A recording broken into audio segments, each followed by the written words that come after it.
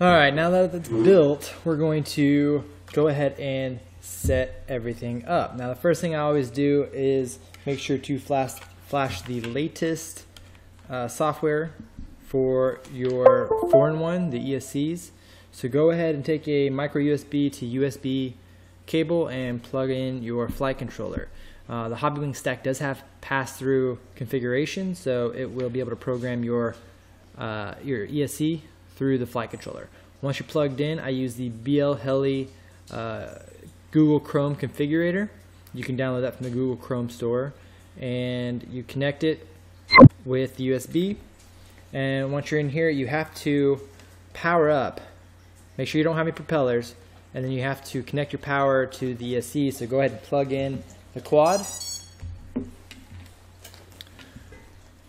And once it's plugged in, you read the setup. And it's going to go through and read all four of them. And I already know that it's behind. Uh, we're going to go ahead and flash all of them. They have a new version, and it is the 16.67 BL Heli multi-shot. You want this one right here. This is the one that allows you to do turtle mode um, and you'll need it. So, and this will flash all of them at once. Well, it'll do it all for you at once instead of going through each one individually. So we'll wait for this. And while we're at it, go ahead. I always go ahead and do this. I go to um, 1000, 2000, or as close to it as possible. It's not allowing me to do it. 2004 is fine. I I don't ever have any issues. I just do this so everything's set the same.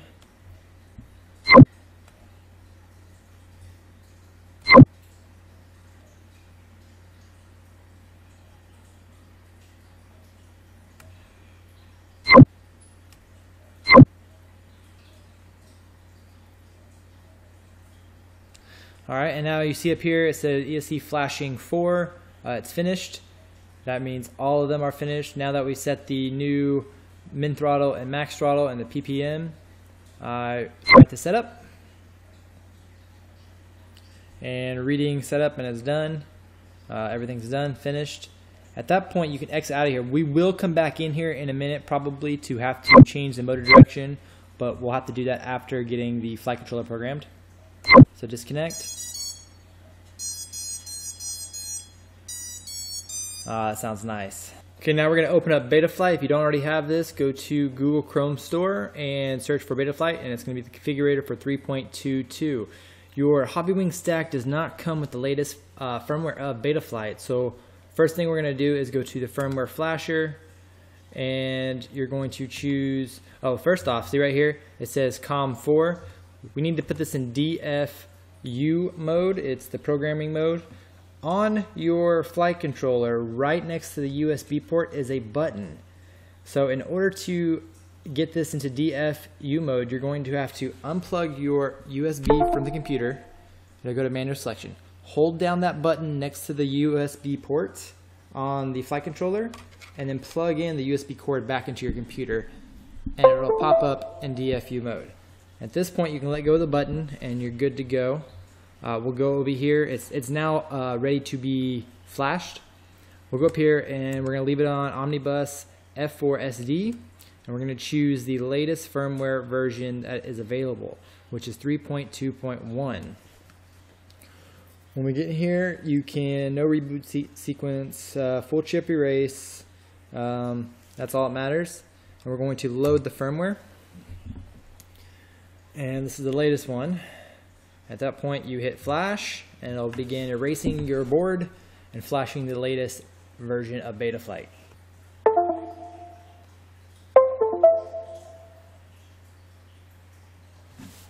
All right, programming is successful, so we're going to go ahead and connect.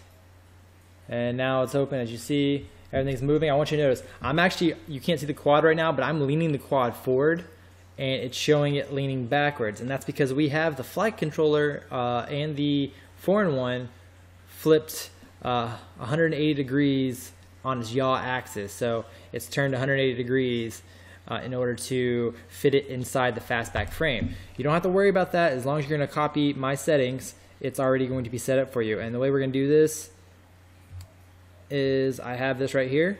It's going to be a dump file that you can just copy. I'll have it linked down below the video and on the uh, Fastback sales page. That way you can copy it, and I'll keep it up to date with my tune and everything. You go into the CLI tab, and you paste the entire thing and hit enter. As you see, it's going through right now, and it's programming your entire flight controller to work. And this is programming it with a Taranis setup. Um, if you're not using a Taranis setup, a, a Sky setup, I will show you how you can change that in a minute. All right, once that's done, you type save, and you hit enter, and it'll reboot. We're going to connect again to it. And now everything is set up. The ports tab set up, uh, configuration tab is set up. Something I want to point out is I am running reverse motor direction. Um, that means when you put your props on, you're putting them on reverse from what is standard. Um, the reason I do that, so when you undo that, you can see right here, it's this is the standard mode right there. Now, I reverse it for two reasons. Um, the first reason is this way the props, if I happen to catch grass, don't fling any grass or mud or anything into my lens. That way it makes it more likely that I'll be able to keep going uh, unobstructed. And the second reason is when you clip objects, like if you're going through a gate, if your propellers are spinning this way and you happen to clip the edge of the gate, you're going with the direction that you're passing the gate by. So the gate will just run through it and it once again creates a scenario where you're more likely to continue going without issues. If you have your motor's normal direction, this is fighting against whatever you're going to hit, and it can damage your props more and cause a more severe wreck. So that's just what I've noticed. As far as performance, I don't have any issues with performance, or I don't notice any difference in performance either way. It's mostly just for the uh, lens and catching things, uh, catching obstacles. Uh, in this setup, we're running air mode on. It's always going to be on anytime you're running it. We're running the OSD, anti-gravity, and dynamic filter. So I do run dynamic filtering. Um, we'll talk about that in just a second. If you are running a FrSky receiver, it's going to already be set up for your FrSky receiver. Um, this is the setting right here. If you're going to be running a, uh, uh, uh, sorry, if you're running Spektrum, you have to go in here and change up the Spektrum. I've actually never set up a Spektrum, but I'm, i believe this is the setting you'll have to change right there. And it should work from that. Like once you change that, it should work. If if it doesn't, I apologize. Uh, go Google it or jump in the Neato Frames Facebook group, and I'm sure there's somebody in there running Spektrum that can help you out. Uh, right here, you don't want to run. It will be fun. Change this from my handle to whatever your handle is because on your OSD, it will set it up right there, smack dab in the middle. So I run, I run this. I run uh, full voltage, main battery voltage. I run. Uh, I like to see how many amps I'm pulling. I like to see my fly minutes. I don't. I don't have the timer on for uh, on time because that's not important to me. It's the fly minutes I want to know how long I was flying for. Uh, besides that, I don't set anything else up on the OSD. Uh, I have thought about doing, there's this main battery usage one that's like just a, it's a scale, but I've been running this voltage for so long, I like it. Other than that, the uh, average cell voltage, this one's something I'm thinking about starting to run. Uh, that way, because when I'm running like, if I'm running 5S, I, I know what 4S is supposed to be when I need to land. 5S, I have to do a little mental calculations because I just started running it. So having an average cell voltage would make that easier. Um, it just depends on what you want to do. I try to land uh, no lower than 3.5 volts per cell. Once you land, it will end up being, so that, that'll be 14 volts over here. Uh, once you land and the battery settles for a minute, it'll actually raise up usually to about 3.6, 3.7, which is good. Um, what was I going to show you? So dynamic filtering. Uh, dynamic filtering, when you're setting up dynamic filtering, you are supposed to actually be on PT1 right there. And it actually doesn't look like it copied over my settings. Okay. So it's PT1 and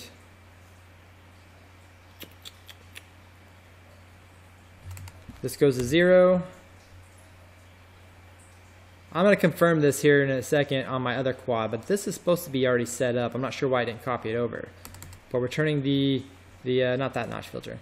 We're turning that notch filter, frequency off, putting it zero, and we're turning this one off and putting it to zero. And this is my usual setup. I'm surprised I didn't copy it already over. It had me on biquad. And I think my rates are already set up correct. Yeah, my rates are right. And I'll have to double check on my current race quad. Uh, but assume that this is correct and should be good to go. At that point, uh, in here, I have my arm switch set to my auxiliary 1. And so I'm going to turn my controller on right now. And just to show you, I'm actually to have to plug my quad in. I do not have props on.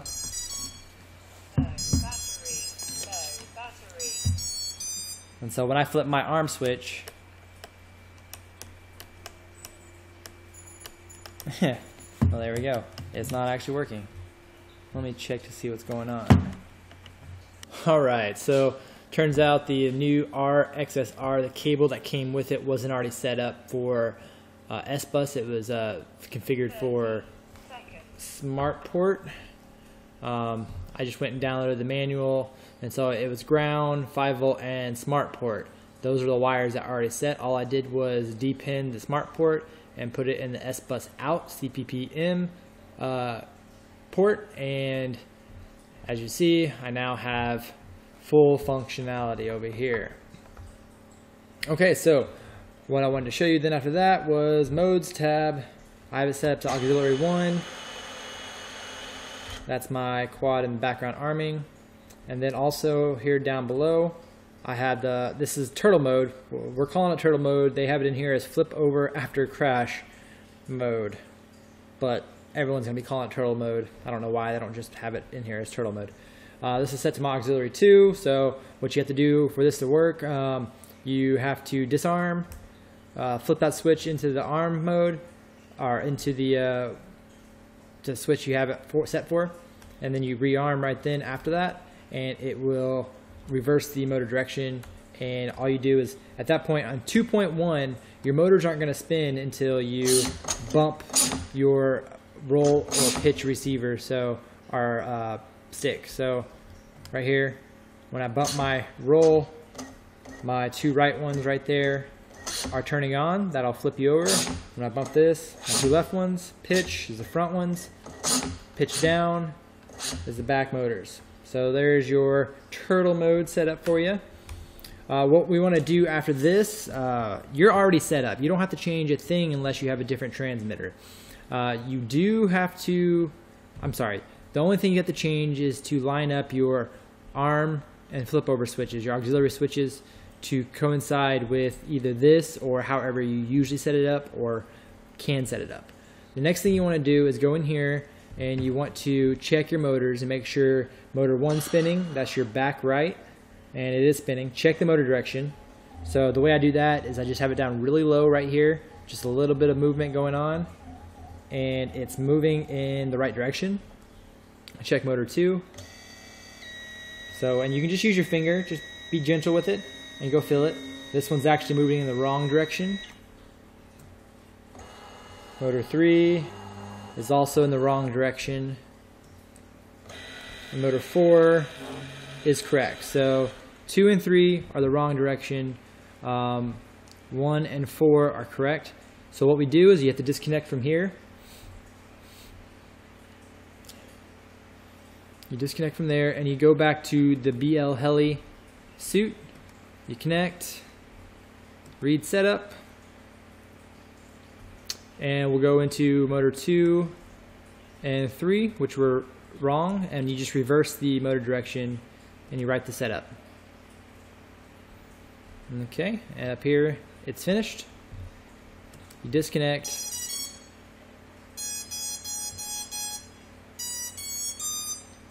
And we're done. So what I'm gonna do now, is I'm gonna put some props on, and I'm gonna go out and do a hover test. It's actually raining outside, so I'm gonna do a hover test in the garage and wrap the video up. All right, wish me luck.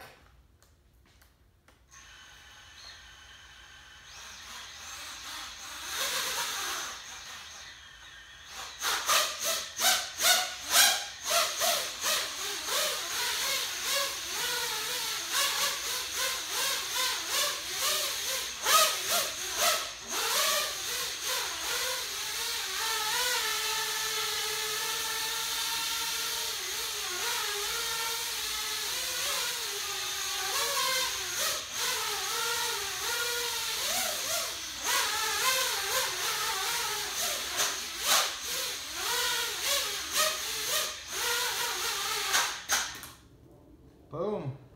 There we go. Successful maiden. I hope your build goes as smooth as mine went.